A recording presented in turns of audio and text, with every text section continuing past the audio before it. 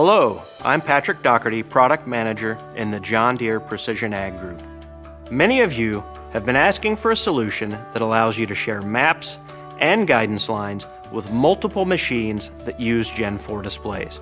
Now, with in-field data sharing, you'll be able to review the performance of your equipment on up to six machines working in the same field, even in low light, dusty, or foggy conditions. It's fully compatible with the Gen 4 4600 Command Center or the 4640 Universal Display. It enables the sharing of coverage, as applied, and yield maps, as well as guidance lines between Gen 4 displays. In-field data sharing is easy to set up and make adjustment.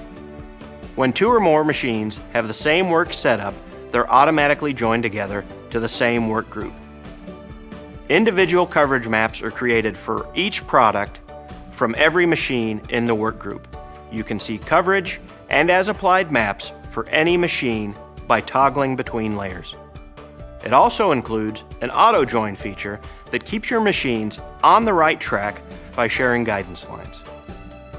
With in-field data sharing, you'll have real-time access to maps and guidance lines from multiple machines working in the same field from preseason tillage through harvest.